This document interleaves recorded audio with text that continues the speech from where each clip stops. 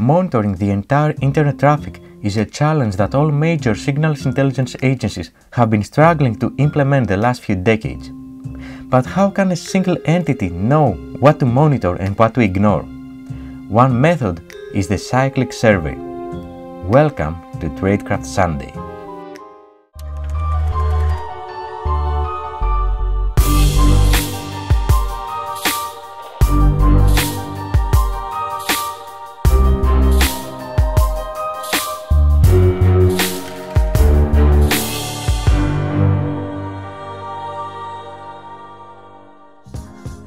Being able to gather intelligence on communications via signals processing is the core mission of intelligence agencies like the United States NSA, the British GCHQ, and various others. The first challenge of this is tapping into the networks that all that data flows through.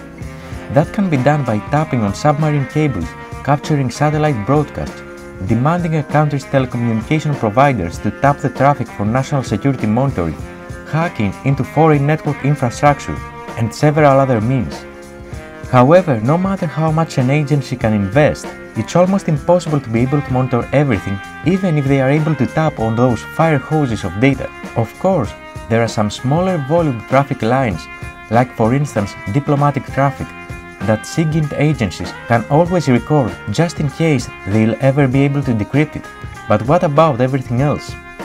To solve this challenge, Western SIGINT agencies came up with a concept of surveying, that is, searching all captured traffic in near real time for matches of what the agency's analysts are looking for.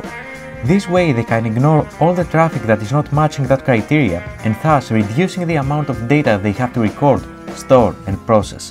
But even then the scale of the traffic is usually still unmanageable.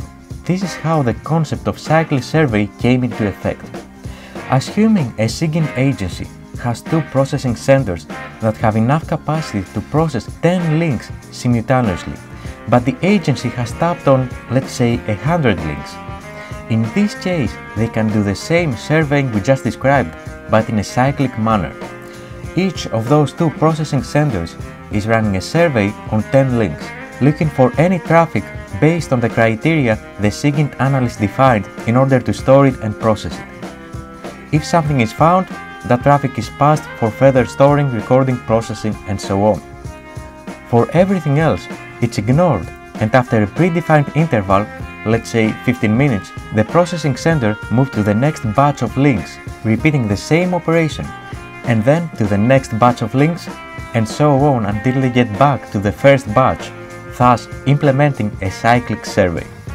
Apparently, this poses the risk of missing something important that happened to pass through a link while not being surveyed.